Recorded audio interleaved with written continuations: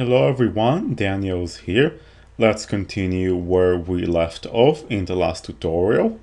We have the Java Development Kit installed and now we can install an integrated development environment for Java, for, for the JDK, for Java EE. Namely, we need to install Eclipse. Eclipse is a development environment for Java EE. So I'm going to search Eclipse in Google, the Google search, and there we go. The first result is the one we're looking for. Actually, just to make sure we can type Eclipse Java. That way, the first result will be definitely the one, the first several results will be definitely the right website, eclipse.org. And here, um, there we go. This is the website of the Eclipse uh, integrated development kit um, actually integrated development environment, not kit environment. And then all we need to do is go to download and there are several versions of Eclipse. This is tempting to, the, to download this one because it says for Java developers, but actually this is mostly for Java Standard Edition developers. Since we are developing with the Enterprise Edition, there we go. We need to download the second tool that says Eclipse for Java EE developers. And if you're on Windows, you download this. If you're on a Mac, no worries. All you have to do is to change to Mac OS X. There we go. And then in Mac OS X, you just download your version. So, and there are no installers. All you'd get is a zip file. So this is the exact same process in Windows and in a Mac. So I'm going to download it. Uh, okay, so I'm going to continue this tutorial when the download is going to be finished. So I'll see you, I'll continue when the download is finished. Alright, the download now has finished. Here is the zip file. And whether you on a Mac or on a PC like me, you're going to just get a zip file, there is no installer. So you can take the zip file and extract it. It's very similar in a Mac. For example, you, in a PC, you can click on extract all and just extract Eclipse to whatever folder you choose.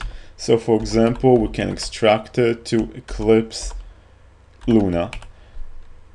Actually, I already have this folder, so I'm going to extract it to Eclipse Luna 2 because on my computer I already have the Eclipse Luna folder, so I'm just going to extract it to a folder with the 2 in the end. Okay, and then we have to click extract. So, okay, let's just start it so we can see how it works. This is going to take a while, so I'm going to come back when it's finished. Oops. Great, now I've got the folder set up and that's how it got extracted. That's all it is, there is no installer, you just extract a zip file, whether you're on a PC or on a Mac. Now we can just start Eclipse by double clicking on the Eclipse sign if it's going to ask you for the location of Java, then just point it to the directory where Java is installed. So on a PC, that would be uh, program files, program files, uh, Java, and JDK. So I hope it will not ask you where Java is installed, but just in case, you can point Eclipse to that folder. Now, it will ask you where do you want to store your projects. That's called a workspace.